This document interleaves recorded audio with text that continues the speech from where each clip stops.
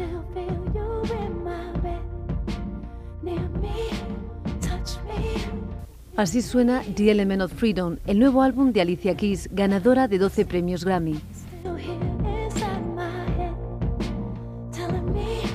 Es el quinto disco de Kiss, un trabajo para espíritus libres y mentes abiertas, según la cantante, que ofrece una versión de Empire State of Mind, el dúo con Beyoncé, en Putting a Love Song. Sonidos de libertad.